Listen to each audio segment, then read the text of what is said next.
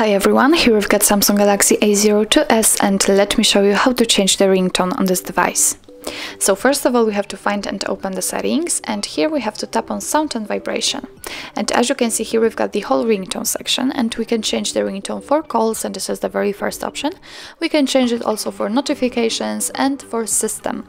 What's more we can divide uh, the ringtone between two different SIM cards because your device allows you to use uh, two cards then it also allows you to uh, choose totally another ringtone for the very first SIM card and totally another for the second SIM card. So now let me show you how to do it. Uh, for example, using the call ringtone, simply tap on it. Here we have to choose the SIM for which we'd like to change the ringtone and I think I will pick the second one. It doesn't really matter right now. And as you can see here, we've got the full list of available language, uh, available ringtones, sorry, from which we can choose. So we've got a lot of options to choose from. What's more, at the very top of the list, we've got the silent option. So it means that uh, your device uh, won't notify you about any incoming calls. So I'm not really sure if it is the best option to choose from. What's more, we can tap on this plus icon and if you will have any compatible files, for example, downloaded, they will appear right here and you will be able to set them as your ringtone.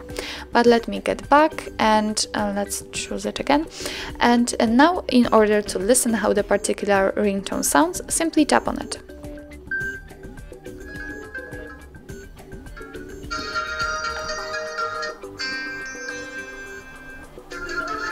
And if you are happy with your choice, just make sure that the ringtone you want to use is marked, like here. So let me pick, for example, the shooting star.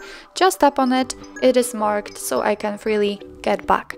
As you can see, it appears right here. Let's get back.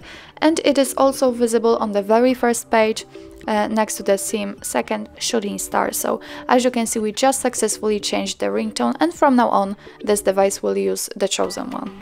Of course, the same situation will be with notifications, uh, so simply tap on it, choose the SIM, so for example, the very first one, and as you can see here, we've got the list of uh, defaultly installed sounds.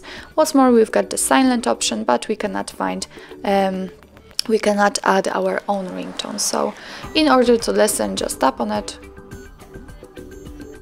And as you can see here, we've got the categories. So here we've got the retro, fun, calm, and galaxy. So simply pick something, for example this one, and if you're happy with your choice, make sure that it is marked and let, let's get back. It, it, it is, uh, it appears right here it is also visible here, so it means that we successfully changed the ringtone.